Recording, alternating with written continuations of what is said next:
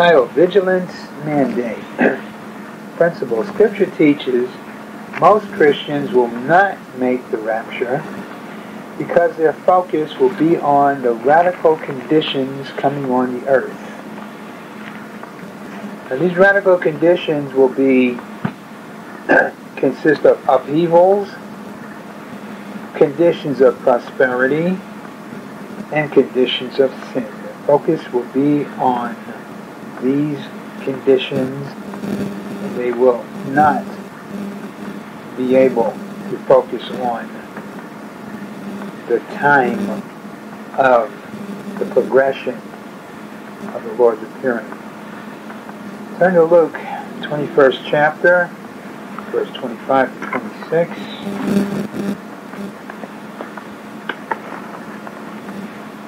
We're going to take a look at some of these conditions that will totally take up people's total focus.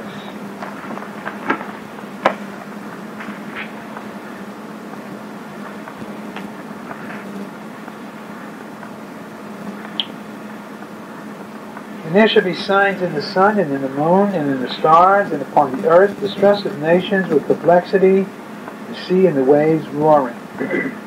Men's hearts failing them for fear and for looking after those things which are coming on the earth.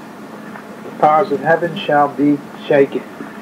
People are going to be so caught up with the upheavals that are going to take place on the earth, the desperate situations that they will find themselves in, they will not be able to compose themselves to allow the Spirit to give them understanding of what's taking place. Turn to Matthew 24, verses 7 to 8.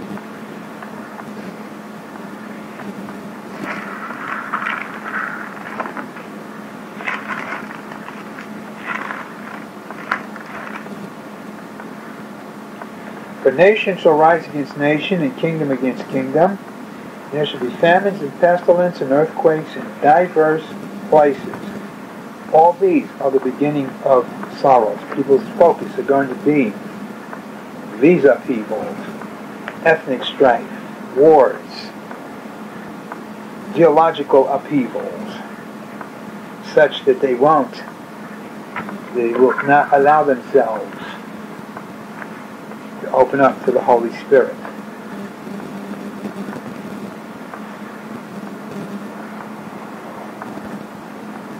Verse, drop down to verses 11 and 12, same chapter.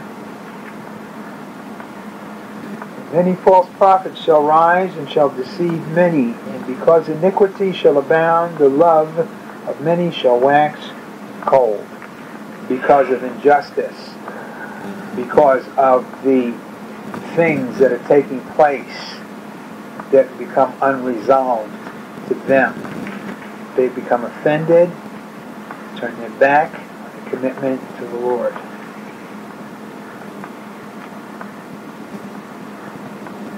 Revelation, the third chapter, verses 15 to 17.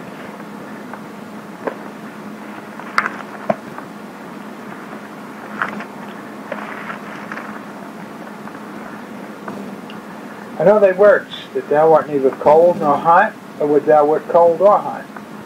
So then because thou art lukewarm, and neither cold nor hot, I will spew thee out of my mouth.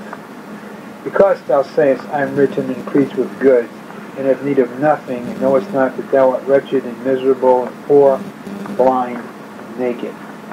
Pursuit of wealth, pursuit of having arrived at a place where they become a, an authority unto themselves, no longer open to the influence of the Holy Spirit, totally oblivious to the time of the Lord's appearing. Luke, 21st chapter, verse 34 to 35. So we're looking at these simultaneous conditions of chaos, conditions of upheaval, and conditions of prosperity. Luke, the 21st chapter.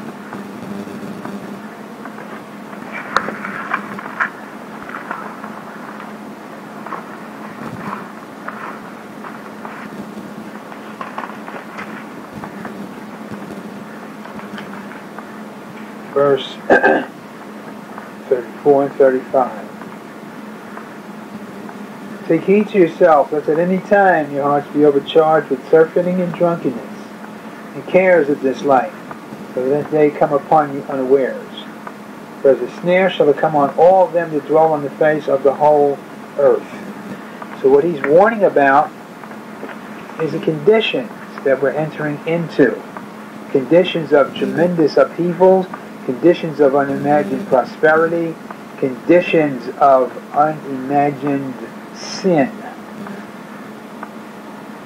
Revelation 2nd chapter, verses 18 to 25.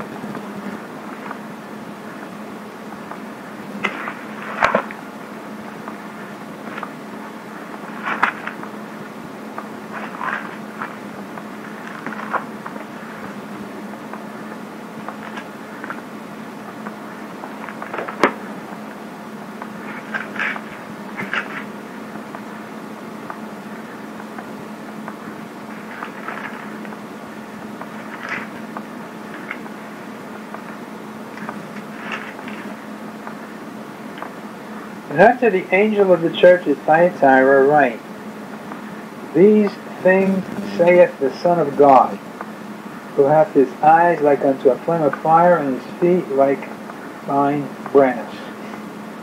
I know thy works and charity and service and faith and thy patience, and thy works in the last to be more than the first. Notwithstanding, I have a few things against thee, because thou sufferest that woman Jezebel, which calleth herself a prophetess, to teach and to seduce my servants, to commit fornication, to eat things sacrificed unto idols. And I gave her space to repent of her fornication if she repented not. Behold, I will cast her into a bed of, and them that commit adultery with her, into great tribulation, except they repent of their deeds, can be left behind and will kill her children with death. And all the churches shall know that I am he which searcheth the reins and hearts, and will give unto every one of you according to your works. But unto you I say, and unto the rest of Thyatira, as many as have not this doctrine, and which have not known the depths of Satan, as they speak, I will put upon you none other burden that which you have already. Hold fast till I come. Now we said that John went to two different conditions. He went into the future, and then he went into eternity. In the future, he writes to the churches that will exist at that day about the things that are happening and going to happen at that time, Jesus openly talks about coming again, appearing to the church, taking them out of the earth. It makes no sense if you look at it from the standpoint of this being historical. Jesus speaking to a church about coming to them, protecting them from the tribulation period when he knew that it wouldn't take place until thousands of years in the future makes no sense. This has to be the church that will exist in the future. Seven churches, which are the core examples, and he mentions all the churches will know. So it's talking about the seven churches that Asia Minor represents the condition that all the churches in the future will represent. Those that are totally committed, those that are involved in things that cause them to spot their robes, those that are not looking for his coming because they're involved in other pursuits, such as the, the, the portion that are at Thyatira. And the understanding here is that a good percentage of them are waiting for him, separate, uh, sanctified, doing what they should do, and a certain percentage of them have given themselves over to this woman, Jezebel, to be corrupted. And this is what he's addressing.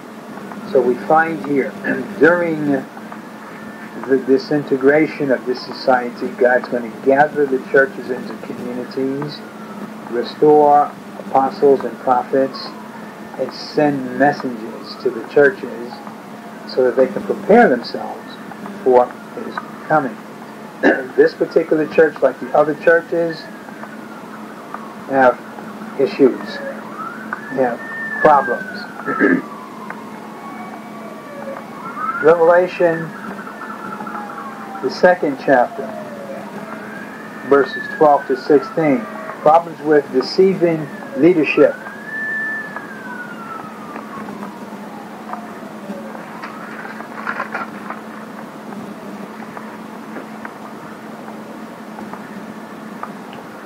And to the angel of the church at Pergamos, write, These things saith he which hath the sharp sword with two edges. I know thy works, where thou dwellest, even where Satan's seat is. Thou holdest fast my name, and hast not denied my faith. Even those days wherein Antipas was my faithful martyr, who was slain among you where Satan dwelt. So he's talking here about the church that existed at the time of John.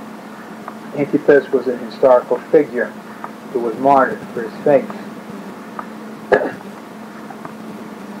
but I have a few things against thee, because thou hast there them that hold the doctrine of Balaam, who taught Balak to cast a stumbling block before the children of Israel, to eat things sacrificed to idols, and to commit fornication. So what he's addressing here is doctrine, leaders have infiltrated the church and they are teaching heretical doctrine, doctrine that's causing those that believe in it to fall away. so hast thou also them that hold the doctrine of the Nicolaitans, which thing I hate. Another false doctrine. Repent, or else I will come unto, unto thee quickly, and will fight against them with the sword of my mouth. He that hath an ear, let him hear what the Spirit saith unto the churches. To him that overcometh will I give to eat of the hidden manna, and will give him a white stone, and the stone a new name written which no man knoweth, saving he that receiveth it. So he's talking to them about things that are waiting for them the throne of the Father. a whole new identity. He's talking to them openly about coming. So the church at this point has been prepared. They understand the totality of what the rapture means. It means that the Lord is going to appear to his people.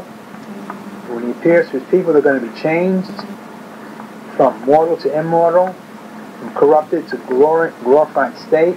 They will go into the presence of the Father. They will receive the fullness of the adoption. This is something you could not teach the churches today because they don't accept it.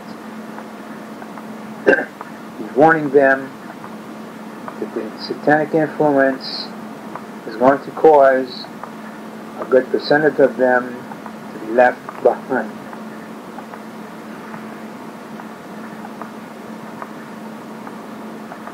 Matthew 24, verses 4 to 5.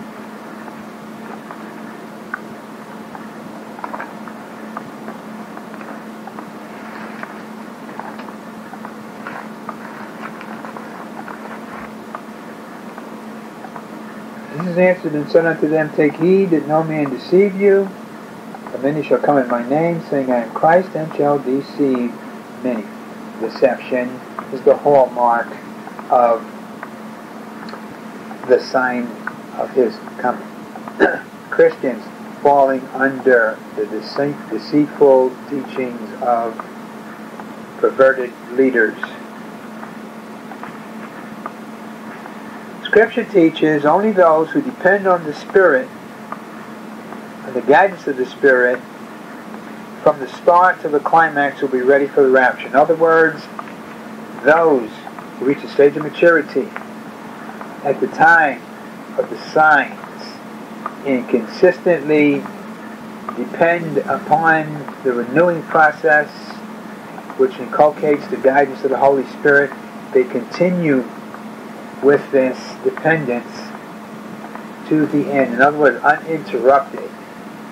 They will be ready for the conditions that are going to come on the earth.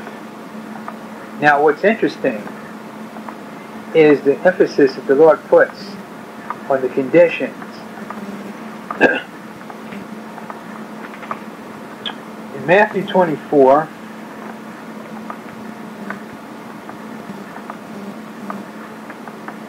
verse 7, he says, For nation shall rise against nation, and kingdom against kingdom. There shall be famines and pestilence and earthquakes in diverse places. Diverse places. All these things are going to happen in diversity. In other words, the earth, human society is going to be fragmented. And in its splitting up, these things are going to happen. You're going to have some places where there's total calamity, chaos. You're going to have other places where prosperity reigns. And the individuals in these diverse places are going to experience different things.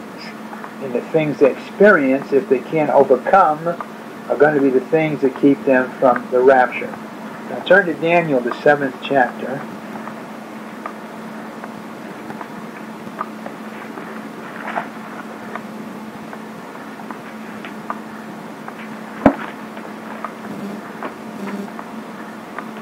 Daniel, the seventh chapter.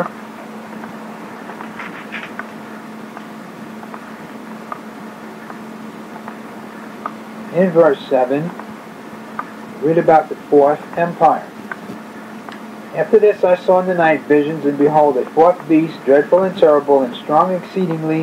It had great iron teeth, it devoured and brake in pieces, and stamped the residue with the feet of it. It was diverse all the beasts that were before it, and it had ten horns. The same word, diverse. Famines, pestilence, earthquakes in diverse places. Fourth empire, an empire diverse from all empires before it. What's being said here is the conditions result from the diversity of what the fourth empire Luciferians are doing. They're fragmenting, they're bringing in conditions that only guidance of the Holy Spirit will give understanding that pertains to it. the warnings that Jesus gave deal with the Christians who are going to be involved in the diverse circumstances that are holding them back from being ready for the rapture. In the church at Pergamos, he talks about the attention is being diverted is going to cause them to suffer a judgment. says, I'll come and I'll speak against you with the sword of my mouth. Church at Ephesus, the same thing. Says, I'll take your candlestick out of its place. Each one is dealing with a different condition because of the influence of the Luciferians. We're entering into that place now there's a fragmentation taking place. In the different areas that people find themselves, to be dealing with different circumstances. Upheavals, prosperity, sin, deception. All things engineered to keep them from tapping into the source that will give them understanding and enable them to be free of the condition. Turn to Matthew, the 25th chapter, verse 1.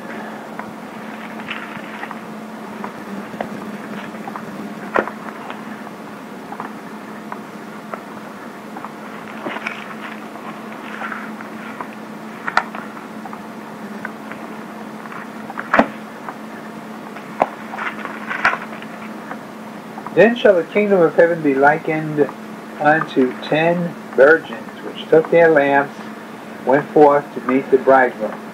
So what we find here is the ten virgins at the start of their journey. They take their lamps and they went forth.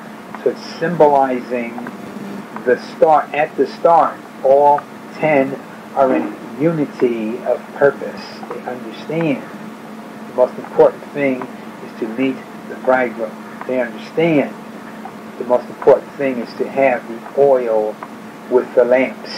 They understand that they wouldn't leave without them. so they all start off with the same definite purpose. Now drop down to verse 6. And at midnight. Why does he choose the term midnight? Why not 2 o'clock, 3 o'clock, 8 o'clock? Because midnight symbolizes the time of the greatest darkness. He's talking about a time when the darkness influence will be at its height, when the human mind will be at its lowest point in comprehending what's taking place. A time in which the lamp and the oil must be operating at the maximum to enable them to see to get to the bridegroom. So what he's saying here deals with the importance of having the illumination of the Holy Spirit consistently from the beginning to the end. The five foolish didn't make it because when it was needed the most, it was not available. They're in the dark. What does that mean? That means that they're no longer applying the Holy Spirit's guidance. They have no guidance. Their human-oriented guidance isn't getting them anywhere. They got to go and find the oil, and they do. They get, of course, when they get back, it's too late.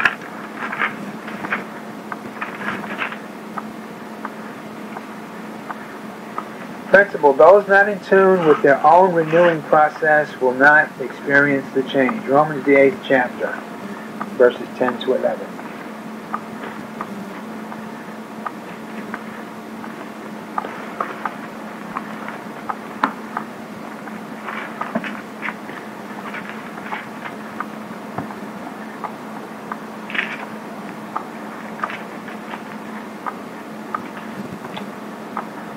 And if Christ be in you, the body is dead because of sin, but the spirit is life because of righteousness. So he's saying here that the the senses are dead as far as guiding you where you need to go, as far as giving you direction and understanding. It's neutralized. It's the spirit that dominates all things at this point. Verse 11, But if the spirit of him that raised up Jesus from the dead dwell in you, he that raised up Christ from the dead shall also quicken your mortal bodies by his spirit that dwelleth in you. The rapture is a change, the end of a line of changes in which the Holy Spirit changes the totality of the physical to spiritual, enhancing what was corrupted into what is now divine. Filling the life with the fullness of the Spirit, the power, the splendor, the glory, everything. The Holy Spirit at this point, in other words, is released to totally fill, complete God's design for that life that He purposed back in Romans 8, 28 and 30, back in eternity past. He now is allowed to expand to the fullest because that life is ready. Scripture teaches after the rapture, the world will turn on Christians. The first great martyrdom will take place. All those Christians that were in the conditions that were keeping them from comprehending what was taking place, groping in the dark, not understanding what's taking place. Instantaneously after the rapture, they will enter into the beginning of sorrows in which the whole world will be incited against them. And they will gather up the first group and will experience martyrdom. Matthew 24 verses 8 to 9.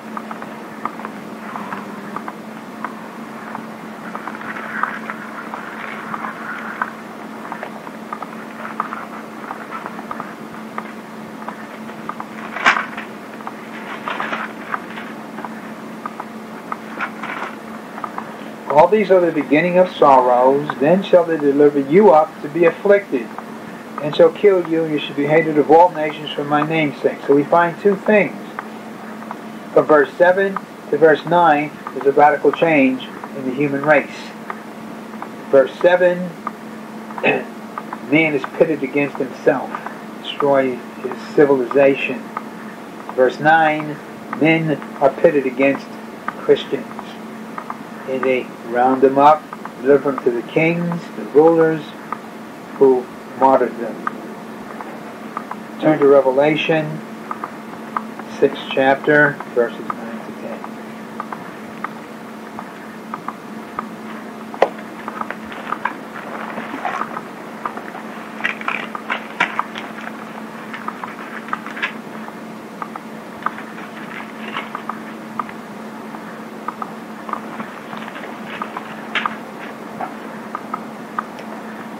When he had opened the fifth seal, I saw under the altar the souls of them that were slain for the word of God, for the testimony which they held. That's this first group.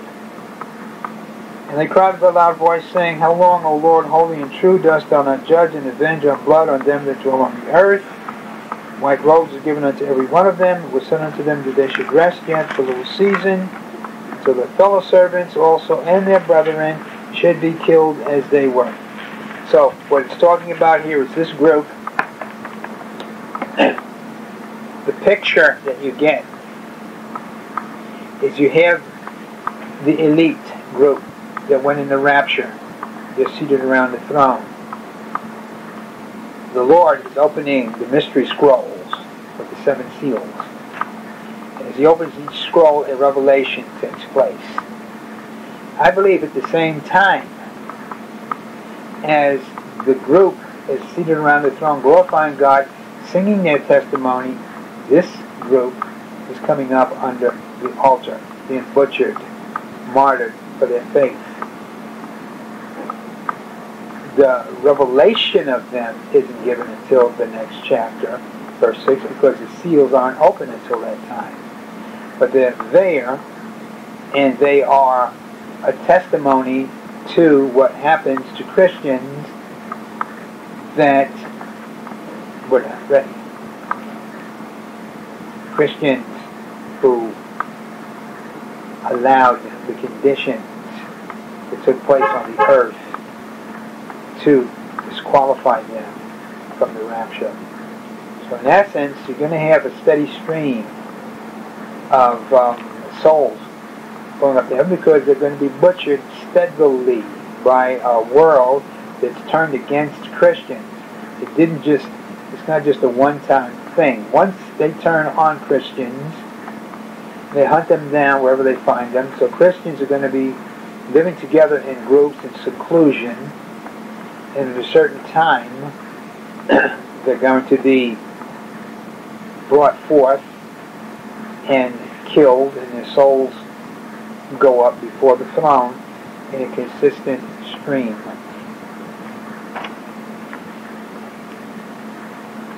So what we have here the understanding that what we're entering into now is not going to be understood to a great degree by the human mind. Unsaved people won't stand a chance once this thing begins to manifest. Most of them will wind up being deceived, going down to the judgments that take place later on in the tribulation period. Christians, the, the tribulation period is for Christians, it's not for unsaved people. Give Christians a second chance to make good, to be put into position that God has for them, so that they can complete, fulfill the plan that God originally had for them, that they themselves disqualified themselves from the